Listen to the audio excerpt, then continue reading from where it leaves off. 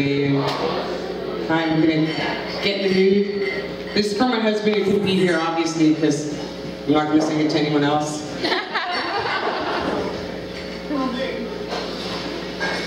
You're married too, Lewis, You can sing it to me, Michelle.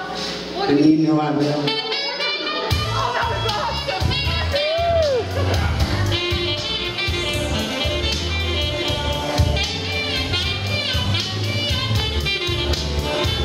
Well, you the